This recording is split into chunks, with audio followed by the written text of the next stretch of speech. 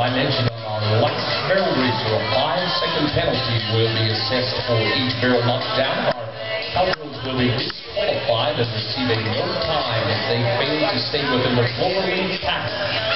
They have the option to go to one side or the right side. Southpaw cowgirl here goes to the left side. She's going to switch leads smoothly. A left leg change into that left turn. And uh, she makes her way around the cloverleaf pattern and is southbound and down. She's going to stop the clock at a time of 18.055. 18055.